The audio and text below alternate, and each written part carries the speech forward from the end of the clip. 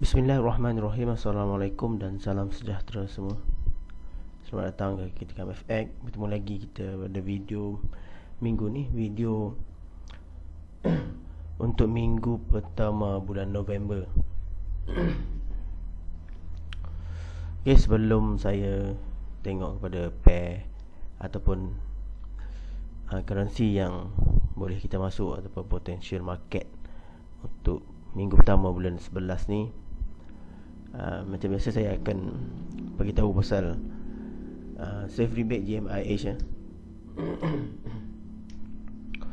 Apa yang saya nampak ramai yang dah uh, orang kata dah register tapi masih belum uh, verify verify profile okay.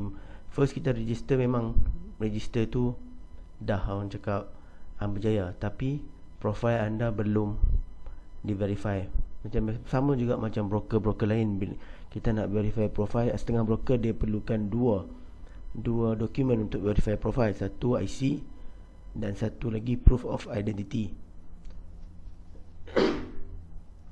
Okay, untuk GMIH ni tak perlu proof of identity ataupun nak eh sorry tak perlu untuk proof of uh, address eh. Kita hanya perlukan IC saja. So Okay, untuk step rebate anda perlu register dan jangan buka account trading lagi. Verify profile uh, dulu dan selepas tu baru ada step yang berikutnya untuk aktifkan rebate tu. Kalau anda tak aktifkan uh, kalau anda tak buat next step tu untuk aktifkan rebate, anda trade anda takkan dapat rebate. Maknanya anda trade trade kosong je lah. Okay, at least kalau kita trade kita rugi ke kita profit ke rebate still dapat. Anda entry satu second anda close still dapat rebate. Untuk pair ataupun untuk forex currency uh, 8 USD per lot.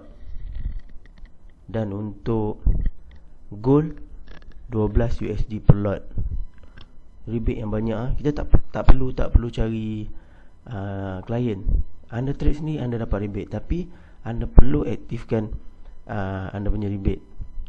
Dia ada step dia. Sebab tu saya cakap Siapa yang dah register Yang verif dah verify profile Ataupun uh, tak pasti macam mana nak verify profile Boleh PM saya. Saya ajarkan step by step.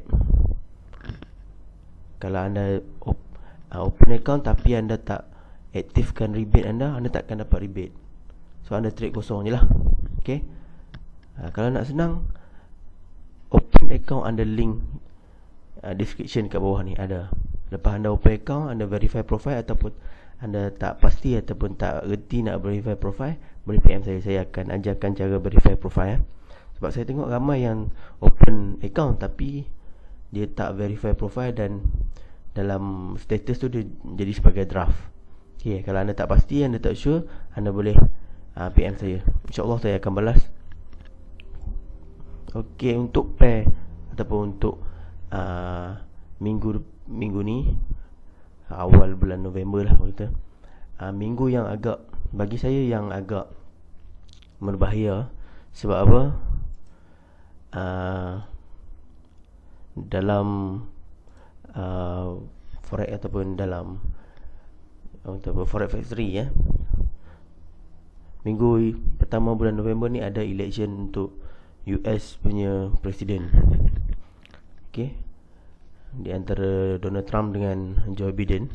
So memang market akan volatile so agak berisiko. Saya pun akan agak berhati-hati untuk entry uh, untuk minggu pertama bulan 11 ni. Tapi tak apa kita boleh tengok ya entry santai-santai jangan ni. Jangan push sangat takut nanti ke lain pula jadi. Okey tak apa. First saya akan tengok macam biasa sebab saya uh, peminat peminat gold so saya akan tengok pair gold dululah untuk uh, minggu ni. Okey gold kalau kita tengok daripada weekly ni memang dalam keadaan uptrend lah. Berapa banyak minggu dah ni Memang dia dalam uptrend So dalam dekat sini dia dah bagi memang dekat zone re-entry buy. Zone re-entry buy di weekly ni. Dan kalau kita tengok dekat sini semua candle dan MA 510 high dan low dan mid BB berada di atas MA 50 ini adalah MA 50 saja ataupun MA 50 so dalam keadaan uptrend bagi gold di weekly ya. Di daily apa yang kita nampak dekat sini daily nak berlakunya downtrend. Dan di sini ada satu area ni ada satu candle arah kuku eh, sorry candle momentum sell. Okay candle momentum sell di daily. So maksudnya dekat weekly dia bagi uptrend. Di daily dia tak bagi uh, ataupun dia tak support dia weekly punya time frame. So mungkin kita akan berbelah bagi untuk kita buy ataupun kita sell lah okay. So weekly uptrend, daily, downtrend. Dan adanya satu candle mom, uh, momentum sell okey kalau sini ada momentum sell semestinya kita akan tunggu re-entry sell lah dekat sini re-entry sell di zone MA 510 high dan di sini juga ada mid BB dan di sini juga ada MA 50 maksudnya ada empat line yang berdekatan lah. so empat line yang seakan-akan dekat untuk dia break. Kalau dia break maksudnya dia kuat untuk dia naik. Kalau dia tak break Maksudnya dia Kekuatan untuk turun tu ada lagi. So Weekly punya Re-entry buy tu Berkemungkinan Kita tak Kita tak follow dulu. Kita akan follow dekat Daily punya Re-entry sell Okay. DH4 pula. Okay saya padamkan dulu. DH4 pula di sini ada momentum sell juga. Sama macam daily punya momentum sell dan di sini juga berlakunya satu signal extreme buy dan di sini terdapat satu TP wajib. TP wajib berlaku kat sini. Hari ni dan di sini ada MHV MHV buy sini berlaku extreme buy di sini berlaku TP wajib di sini berlaku MHV buy dan belum ada candle arah kuku buy. So maksudnya dekat sini kuat lagi untuk kita sell. Okay, kuat lagi untuk kita sell uh, gold ni. Tapi sekiranya berlaku candle arah kukuh buy di H4 ni katakanlah bila market buka hari Isnin berlakunya candle arah kukuh buy di H4 so kita akan buy dulu di H4 saya akan buy dulu di H4 sebab apa saya buy di H4 target saya sebelum nak tunggu uh, re-entry sell dekat daily ni H4 berkemungkinan dia akan naik dulu. Sekurang-kurangnya top BB ataupun zone ni lah. Kalau siapa yang main support yang resistance zone ni lah. Ok zone sekurang-kurangnya top BB saya akan TP untuk uh, buy saya. Tapi sekiranya dia berlaku buy uh, berlaku arah kukuh buy dekat sini dan turun memberi re-entry buy dan dia naik sampai ke area yang saya tandakan ni tetapi di daily eh, di H1 memberi momentum buy. Momentum buy berterusan so saya akan buy saya akan hold buy saya. Tapi kalau dia tak buat buy ataupun dia buat extreme sell masa dia naik dekat H4 tu top BB H4 dekat ataupun line, ni so saya akan uh, fokus untuk sell balik mengikut daily ya. So, agak pening juga untuk pair gold ni. Ditambah pula dengan election US punya presiden so market akan volatile tak tahu ke mana arah agak berisiko lah bagi saya untuk masuk tapi kita boleh masuk tapi tak boleh nak hold lah. Bagi saya saya takkan hold lama saya akan ambil TP 30 pip ataupun 300 saya akan uh, TP lah untuk goal ni. Tapi apapun saya akan fokus kepada buy dululah buy dekat H4 berkemungkinan. Berkemungkinan dia akan buat MHV lagi. Kalau dia tak buat arah kukuh buy di H4 berkemungkinan dia akan buat MHV buy sekali lagi. Dia akan jadi double MHB double bottom eh. Dan kalau kita tengok dekat daily eh, sorry dekat H1 pun sini adalah re-entry buy. Sini ada extreme buy TP wajib MHV arah kukuh re-entry dan dia bagi momentum buy. So dekat sini ada re-entry buy. Re-entry buy. Tapi saya nak kalau nak selamat tunggu H4 lah. Saya akan tunggu pada H4 okay. ni untuk gold kita tengok sikit major pair yang lain lah Euro USD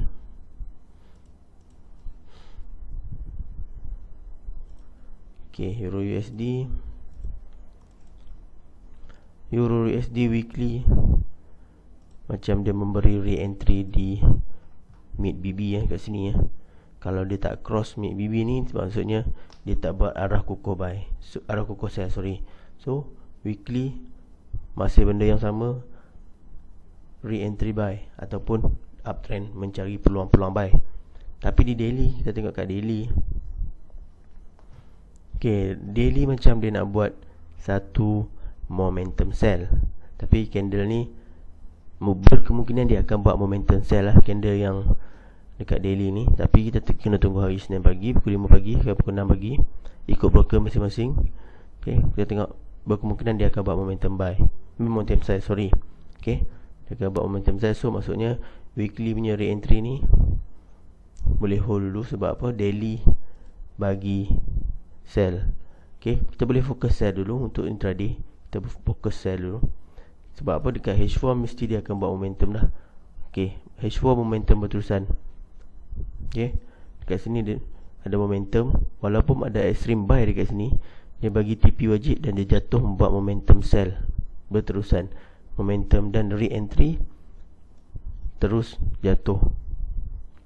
Okay So maksudnya kita akan cari-cari Peluang-peluang untuk sell lagi lah Untuk uh, Euro USD ni. Okay Sama dekat H1 saya rasa sama je benda tu. Okay Sama juga lah. Kejatuhan Kejatuhan Memberi Extreme Sell Dan Berlaku Kejatuhan lagi. So Saya akan tunggu Dekat H4 lah Kalau nak selamat dekat H4 lah. Area ni lah.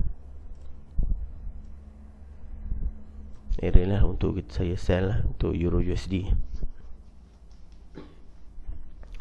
Okay, ni untuk Euro USD Kita try tengok Cross pair pula lah. Cross pair Oh, mana GG Baik, GG tak ada eh. Okay, ini GG Kita tengok GG ya. Kadang-kadang ramai peminat GG Okay, kita tengok GG Apa yang GG buat sebab Saya tak trade GG minggu lepas Saya trade banyak trade gold Okay, GG weekly Okey, dia bermain di antara MA low dan MA high ya. Dekat sini ada arah kukuh sell dan dia bagi re-entry sell dan dia tak boleh break pun uh, MA 510 low untuk membuat candle arah kukuh berterusan. So maksudnya dia bermain di di antara MA 510 low dan MA 510 high. Dalam keadaan dalam boleh kita nampak kat sini macam uh, sideways lah. Okay, weekly kita confuse mana kita tak ada arah tuju. Okay so kat daily okay. So sekarang dekat daily Kita boleh nampak lah. Ada momentum sell lah. Okay dalam keadaan sideway dia turun Dia naik dan tiba-tiba dia buat momentum sell kan So boleh tunggu re-entry sell dekat sini ya Re-entry yang agak kukuh sebab apa dekat sini ada MA510 low Eh sorry MA510 high Mid BB dan MA50 So dekat sini boleh tunggu re-entry untuk sell sebab apa? Panjang kejatuhan ni dia tak bagi lagi re-entry untuk sell. Okay, so daily GJ ni nampak untuk sell lah. Kalau saya, saya akan fokus sell juga. Okay. Okay, dalam zone kalau dia naik bagi re-entry sell dekat daily dia mesti tak ada momentum buy lah. Macam biasa tak ada momentum buy dekat H4. So maksudnya H4 tak buat signal yang berlawanan dengan daily. Okey.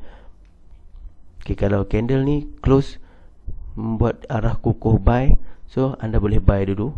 Sini ada extreme, ada TP wajib, MHV double MHV ya. Double bottom maksudnya dua kali MHV buat. So dia bagi re-entry buy, so anda boleh buy dulu dan TP dia top BB lah. Saya akan ambil TP pada top BB untuk buy. Sebab apa? Bila dia hit top BB, dia bagi re-entry sell di daily. Memang agak berisiko kalau anda entry lawan traffic besar tapi kalau Yalah kadang-kadang kita ni Tak sabar Okay So kita nak entry So kita tengok lah time frame H4 ni untuk kita entry buy Tapi TP tak baby lah kalau lebih kurang besar juga ni. 120 pip 1200 pip Okay so boleh tapi entry berhati-hati untuk minggu pertama November. Sebab apa? Seperti yang saya cakap election uh, US punya presiden memang efek major efek kepada mata wang USD lah. Tapi pair-pair lain pun akan ada efek juga walaupun tak banyak tapi boleh juga membuatkan pergerakan yang besar Okay, ni untuk GG So, saya nak tengok major uh, cross pair sebab apa ada yang PM saja untuk buat uh, fokus untuk cross pair sebab saya jarang jarang saya uh, masuk cross pair punya entry. Okey, kita tengok Eurocard. Kita tengok sekali ya Eurocard. Okey, kalau tengok kat sini Eurocard memang kalau weekly punya memang dah cantik kalau minggu lepas kita masuk untuk sell sebab apa arah kukuh buy. Eh sorry arah kukuh sell kat area ni. Ni candle ni candle arah kukuh sell dan dia bagi re-entry sell lah. Dia bagi re-entry sell kita tengok re-entry sell kat sini. Apa yang dia kena. Okey. Okey ni untuk weekly di daily untuk euro. Okey dia bagi rejection di uh, top BB masa dia bagi re-entry di weekly tadilah. Okay, dia bagi rejection di top BB Okay So Memang valid lah re-entry sell Siapa yang masuk re-entry sell kat sini Minggu lepas. Okay Dan di daily Okay kalau kita tengok untuk minggu next week ni Bagi saya Saya akan fokus kepada sell lagi lah. Sebab apa? Sebab Kena arah Sell ni tak dimatikan pun bagi saya. So di daily ni Berkemungkinan dia akan buat candle arah kukuh sell balik Mematikan candle arah kukuh buy ni. Kena arah kukuh buy ni dia mematikan. So untuk confirmation di H4 uh, eh, di daily ni kita tengok kena tengok H4 ah. Okay, H4 pun okay, awal lagi dah bagi kena arah kukuh. Okay, so dia dah bagi ada entry. Okay, but, kalau tak nak tunggu di daily sebab daily dia terlalu jauh boleh tengok, tengok di H4 untuk Eurocard ni. Sebab ni dia kena arah kukuh arah kukuh dan dari entry dan berkemungkinan dia akan bagi re-entry lagi ya. Tapi pastikan dia bagi re-entry di H4 ni H1 tak ada can, tak ada setup ataupun signal yang berlawanan. Okey. Okey kalau dia bagi re-entry di H4, H1 pastikan tak ada momentum buy. Okey. Kalau ada momentum buy, so lupakan di H4 tu. Tunggulah di daily punya re-entry sell dekat sini ya. Sebab apa?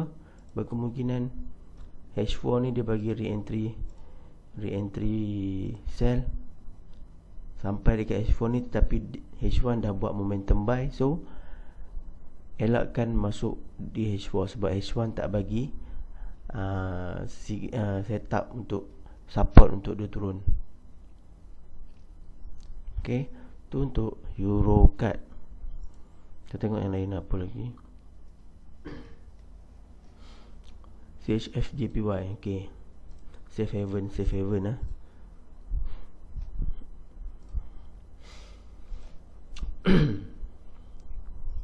Safe haven Okay.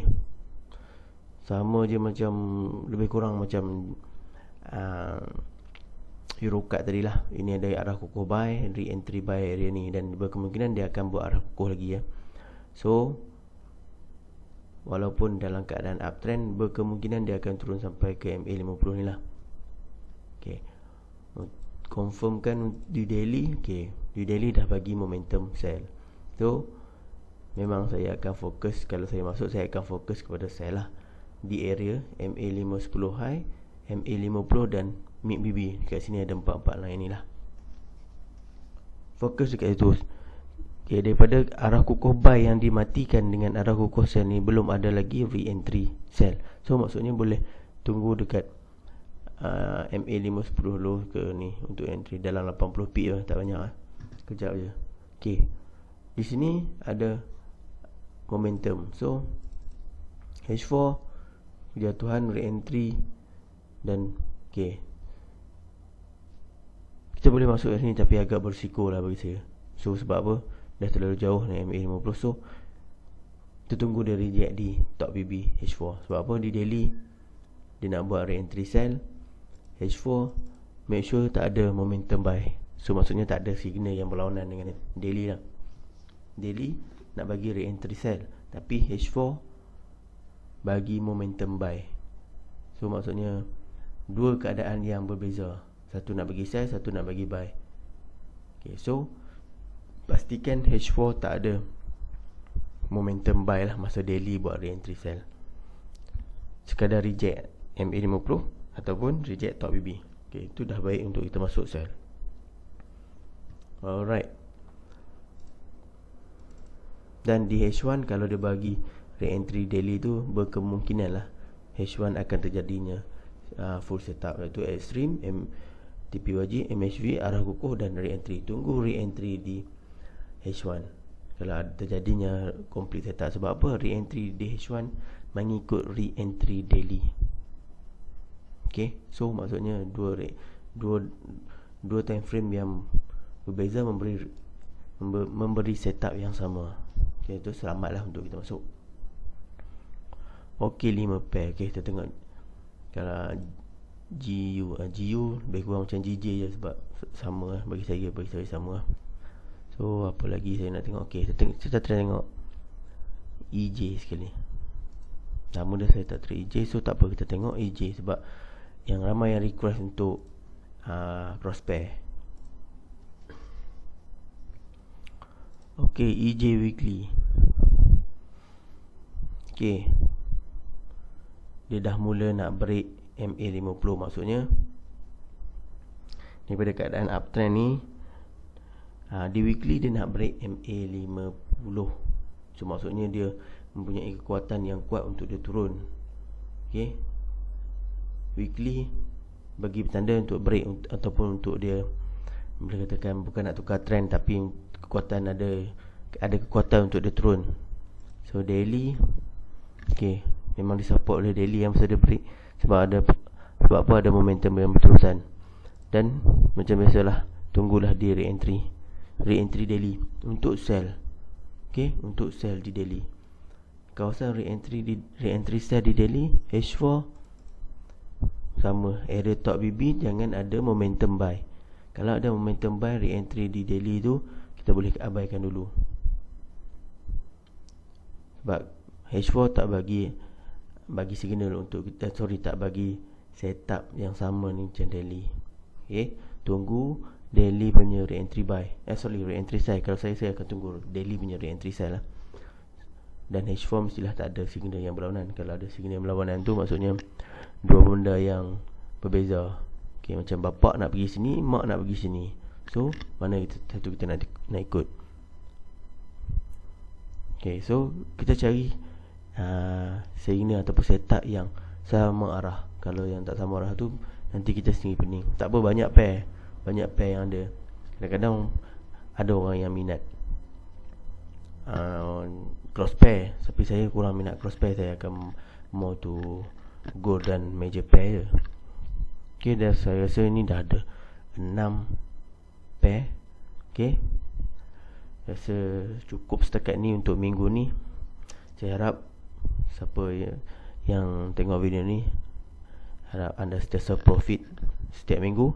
Dan berhati-hati untuk minggu pertama bulan 11 kerana ada election US punya presiden.